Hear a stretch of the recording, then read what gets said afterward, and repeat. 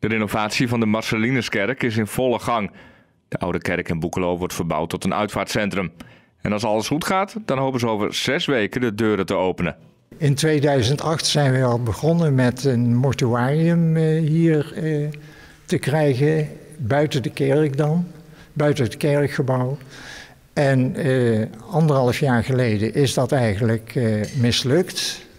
En nu hebben we een uitstekend alternatief dat we een uitvaartondernemer eh, hebben gevonden die voor tien jaar eh, dit gehele, dit complex dus wil eh, huren. Binnen is het zo goed als klaar. De laatste vloerbedekking wordt gelegd. En, en uh, ja, kortom, met Paarsen vinden hier de eerste diensten plaats. Nou, we hebben dus hier nu een, een mortuarium hiernaast. In die ruimte. En uh, daar kunnen dus de overleden die kan er opgebaard worden.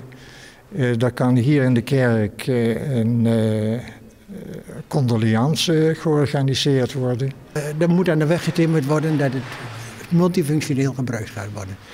En uh, dat denk ik ook dat het een, een uh, groot draagvlak heeft hier in de gemeenschap en het voorziet in een behoefte.